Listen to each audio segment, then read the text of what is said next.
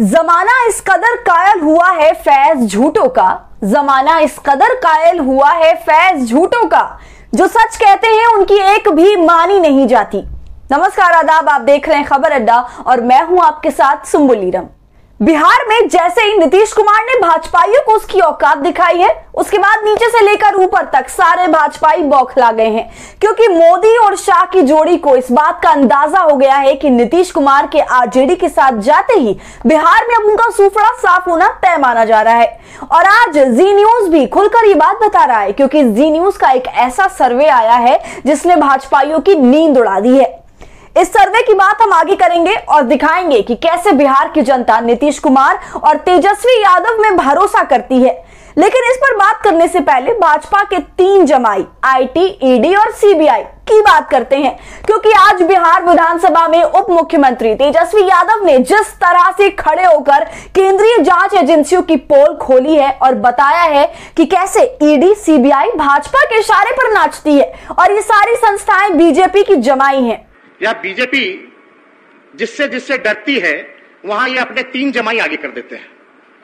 पहला जमाई सीबीआई, दूसरा जमाई ईडी, तीसरा जमाई इनकम टैक्स। बिहार में आज सीबीआई का छापा पड़ा है। ये कोई बहुत बड़ी खबर नहीं है, क्योंकि हमने उसी वक्त बता दिया था कि जल्द ही बिहार में ईडी और सीबीआई एंट्री मारने वाली है। जब नीतीश कुमार ने भाजपा के साथ खेला कर दिया था लेकिन सरकारी तोता सीबीआई आज के दिन का इंतज़ार कर रही थी, क्योंकि भाजपा की प्लानिंग ये थी कि जिस दिन नीतीश कुमार को विधानसभा में अपना बहुमत साबित करना है, उसी दिन सीबीआई आरजेडी के नेताओं पर छापेमारी करे, जिससे आरजेडी में हड़कम मच जाए और नीतीश कुमार अपनी बहुमत साबित ना कर पाए। लेकिन हुआ ठीक उसका उल्टा, क्योंकि जिस तरह से सारे विधायक नीतीश कुमार के साथ एकजुट खड़े दिखे, उसने भाजपाइयों के साथ उनके इशारे पर काम करने वाली एजेंसियों की नींद उड़ा दी। क्योंकि सीबीआई इस प्लानिंग में आई थी कि आरजेडी के विधायकों में हड़कम मचा दिया जाए, लेकिन नीतीश कुमार और तेजस्वी यादव ने उनके मंसूबे पर पानी फेर दिया। इन सब के बीच आज मीडिया जिस तरह से उसी तोते के इशारे पर काम कर रही थी, उसका भी आज पोल खोलेंगे।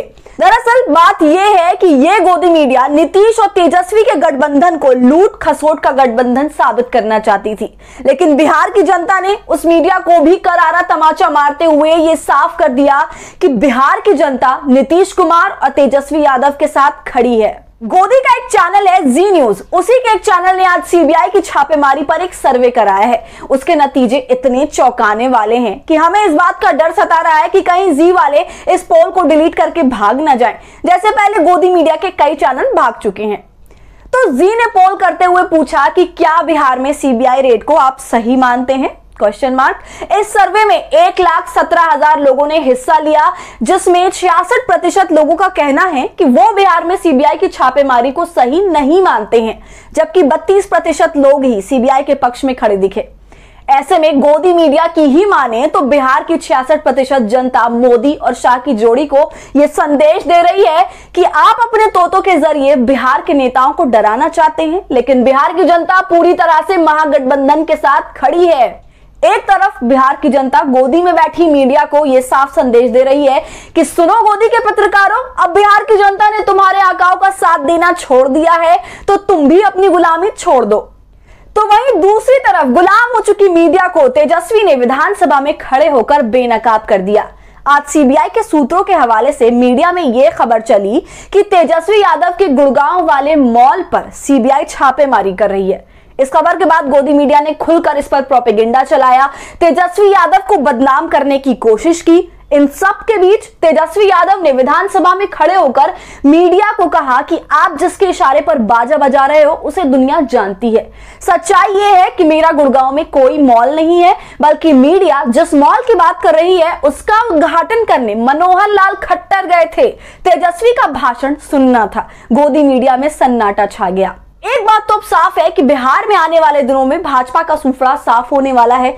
ये बात हम नहीं, बल्कि खुद मोदी का बड़ा चैनल जी मान रहा है। ऐसे में आपको क्या लगता है कि आने वाले चुनाव में भाजपा का सुफड़ा साफ़ होगा? इस पर आपकी जो भी राय हो, हमें कमेंट कर ज़रूर बताएँ और इस वीडियो को लाइक करें, शेयर करें और खबर अड्डा को यूट्यूब पर सब्सक्राइब कर लीजिए।